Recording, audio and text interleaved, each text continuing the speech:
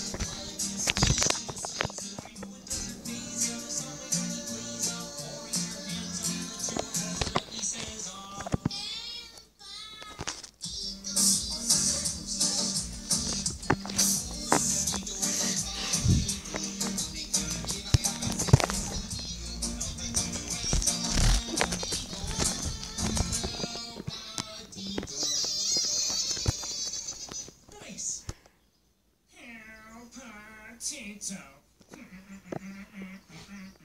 Hey, that song's actually pretty catchy.